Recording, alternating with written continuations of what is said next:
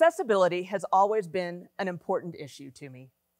At the age of four, I realized how unfair it was that my youngest sister, age eight months, couldn't play in the top bunk with my two year old sister and me.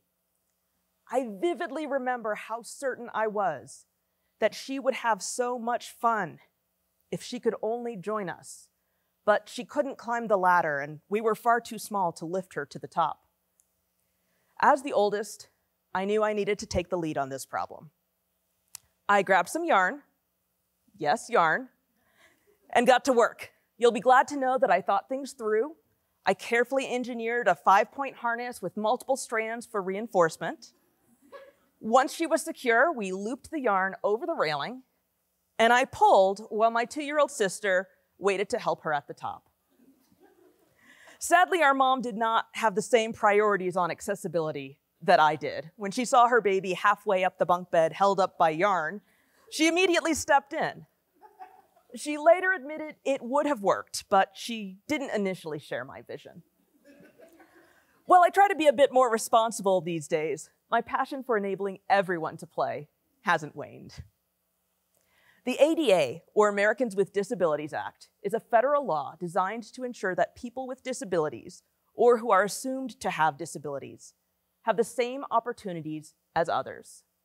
The 1991 standards gave significant protection, and revisions in 2010 have improved upon that. To my knowledge, bunk beds have not yet been considered, perhaps in the next revision. The ADA means that when I use my mobility scooter, for instance, there has to be some way for me to get into a building. But that might involve going behind the building to find a ramp, while others can use the stairs at the front. Universal design improves upon the ADA standards, considering accessibility needs from the very beginning. Perhaps a ramp and stairs can be side by side, or features designed such that there is no need for stairs at all. Universal design for learning takes those same concepts and applies them to the classroom in multiple ways. Classes have people with differing physical abilities, but it is also important to consider the needs of different types of learners. Currently, most educational systems are set up to favor people who learn a certain way. Personally, I'm organized, my brain notices patterns, and I'm a speed reader who looks at an entire paragraph at once and intuits what it says rather than reading things one word at a time. These things have allowed me to excel in the US educational system. What can't I do, though? I am autistic and may struggle to understand social norms or why people react in certain ways. I have aphantasia and face blindness, so I can't visualize things or recognize faces. I memorize facts about visual attributes. My older kid has red hair, and my younger kid loves her purple glasses. I was shocked to learn that most people can call up mental images. I don't have those. Similarly, I don't create mental maps. I can't find my way to the post office in my town of 4,000 people without looking up directions and planning a route based on the street signs. I have lived here for over 12 years. Fortunately for me, society generally forgives these difficulties. Other than a parent teacher conference about my artistic abilities at the age of four, I've done well in school. So, why is my inability to recognize someone because they dye their hair an amusing quirk, while so many view someone with dyslexia as learning disabled? I don't have answers for that, but I invite you to ponder the question. What I do know is that if we embrace learning differences, differences, not disabilities, we can create a learning environment where people have the supports they need. I'd like you to imagine you're learning how to square a number or to multiply it by itself. You see the following examples. 6 squared is 36, 9 squared is 81, 11 squared is 121, and so on. And while looking at these, you notice something. You ask, wait, do all the odd squares end in either 1 or 9? I could answer you in a number of ways. I could simply say, no, or no, think about 5 squared, or Perhaps even that's not what we're working on. Pay attention. Or I could say, good question. Let's find out. The first three answers shut students down to various degrees. For a student with math anxiety or who fears speaking in public, that might be the last question they ask in that class. By embracing the question, realizing that is the student's way of engaging with the topic, and working together to find the answer, they may end up with a deeper understanding of the concepts and be more likely to ask questions in the future. So we have a conjecture, a hypothesis, that all of the odd squares end in one or nine. We might take a few minutes to see if we can find patterns. Can we find a counterexample or an example that disproves our idea? We wonder, do any odd squares not end in one or nine? Wait, 15 squared is 225. So no, they don't all end in one or nine.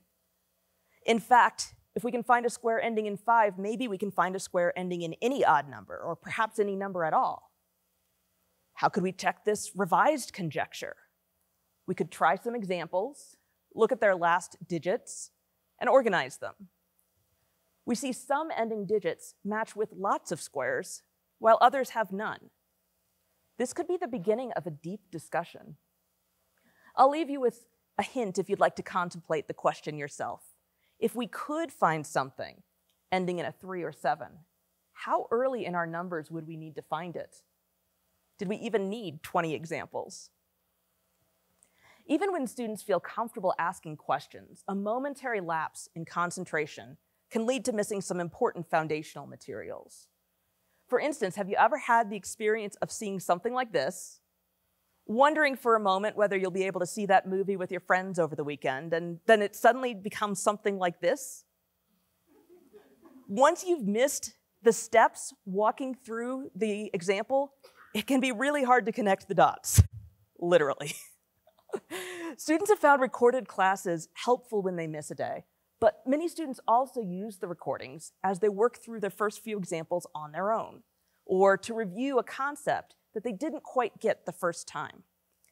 Being able to pause the recording to think things through and try to anticipate the next steps has been a great way for some students to learn. They're learning by doing, with someone modeling the process in a way that they can review as many times as they need to. I record my classes on Zoom and share them with students in an unlisted playlist, but there are many other programs that have similar functionalities. And while I do use a webcam, it's not needed. If notes are on the smartboard, that screen can be shared. I allow students to join on Zoom when needed, but it's also possible to just record your screen and audio without allowing live access to it. The ability to see something again, and again, and again, can greatly benefit students. However, there are many other supports and needs to consider. Perhaps one of the most commonly discussed issues is dyslexia, which leads to some students being unable to access the curriculum. Dyslexic students struggle to read, which is a particular issue with word problems or written instructions. My understanding of how dyslexia can impact someone has evolved over time. For instance, I switched to a sans serif font, which is a best practice for students with dyslexia. In fact, some ADA accessibility standards require sans serif fonts including signs and display screens. Then I simply made the font larger. When I asked a dyslexic student for feedback, she pointed out that rather than larger font, it would be more helpful to have the lines spaced out so she could more easily transition from the end of one line to the beginning of the next. It was a much needed reminder about the importance of centering those with lived experience. Because I don't read one line at a time, I had never considered the importance of tracking lines like that. By changing things to a larger font, I had done little more than the equivalent of talking louder to someone who doesn't speak the language. This feels obvious to me in retrospect, but it wasn't obvious to me at the time. Much like how asking an adult to help an infant into the top bunk seems now like it might have been a better idea than using a pulley made out of yarn. One issue that I am very familiar with myself is test anxiety. Even when I knew the material, my anxiety kept me from showing what I knew. To lessen those issues for my students, I try to focus on the purpose of the exam. I want my students to be able to demonstrate certain skills. For instance, one question might ask them to set up an equation, solve the equation, and round to the nearest tenth. Ideally, they can do all of those things. In practice, if a student can't set up an equation to solve, they can't show me that they can solve equations in round. Rather than a test being a high stakes, all or nothing situation, I began offering help when needed, at the cost of not earning points for that particular piece of the problem. We can work together to solve the problem during the exam. It's less stressful for the student. They learn from what they see as I do it, and they are able to show me what they do know. Test anxiety is something I am very familiar with, having experienced it myself, but I only recently learned about executive dysfunction. However, it is something I've seen many times in my classroom. To continue our example from the beginning, four-year-old Dev was given a problem to solve. How can he get his sister to the top bunk? This is a fairly complex problem. The first step was to design something to keep his sister upright, after all, there was no point in building something to lift her up if she wasn't safely held and supported by the yarn. After constructing a harness, he needed to plan a way to pull her up. He wasn't strong enough to simply pull her up from the top bunk, so he needed to engineer a pulley system. Even when she reached the top, she wouldn't be able to get herself into the top bunk, which perhaps should have been a clue that this eight month old was not ready for this endeavor. So again, we have a problem to solve. This kind of step by step thinking comes naturally to some. They find it easy to break a task into smaller pieces, which may need to be done in a certain order. Others may need some help breaking things down. The first time I gave a group project, I gave instructions about what I wanted and a due date. I didn't realize that for many people, tackling a complex problem did not come naturally, and that is not always a step that is taught. Over time, I learned to help students by scaffolding the project, giving feedback at multiple stages, and creating online checklists that must be marked as complete before an assignment can be submitted.